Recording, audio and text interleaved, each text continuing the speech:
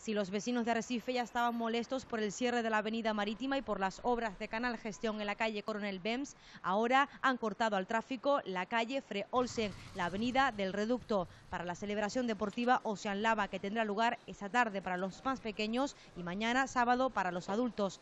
Los conductores a primera hora de esta mañana no podían acceder al centro de la capital y son los principales afectados.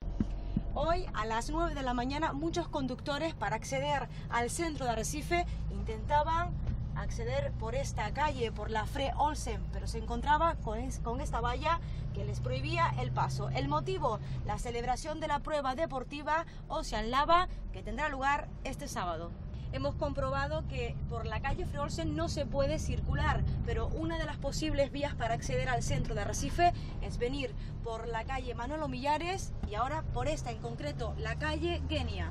Varias calles de la capital estarán cortadas al tráfico durante todo este fin de semana, en concreto hasta este domingo. Pero claro, eh, ellos se ponen ahí a decir como que la calle está cerrada, que esto ahora mismo no es peatonal, que no pueden pasar ni coches, no pueden pasar personas entonces mm, tuvimos que sortear los, diferentes puestos que ellos tienen, pasar por medio de ciertas cosas que ellos ponen ahí para los eventos y para mí personalmente me parece muy mal.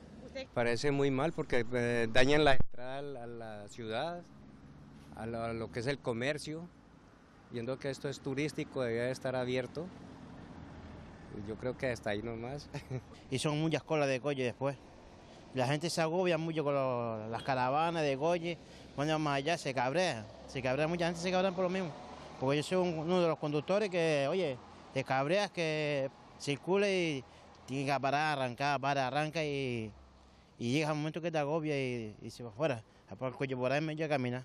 Otros accesos al parking de viviendas o acudir hasta el centro de Arrecife se podrá hacer a través de la calle Taro y Alfonso XII. También permanecerá cerrado el acceso a los aparcamientos de la calle Los Ibiscos.